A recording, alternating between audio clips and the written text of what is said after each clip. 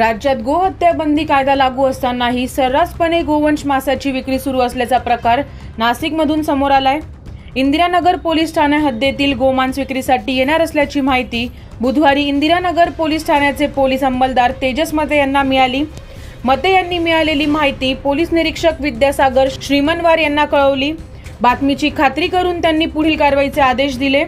त्यानुसार गुन्हे शाखा युनिट दोनच्या पथकाने नाशिकच्या वडाळा गाव येथे सापळा रचून एका संशयित इस्मास ताब्यात घेतले. अझहर खान असे ताब्यात घेतलेल्या इस्माचे नाव आहे. पोलिसांनी त्याची कसून चौकशी केली असता त्याच्याकडून सहा लाख पंचेचाळीस हजार रुपयांचा माल हस्तगत केलाय. पुढील चौकशीसाठी त्यास इंदिरानगर पोलीस ठाण्यात दाखल करण्यात आलंय.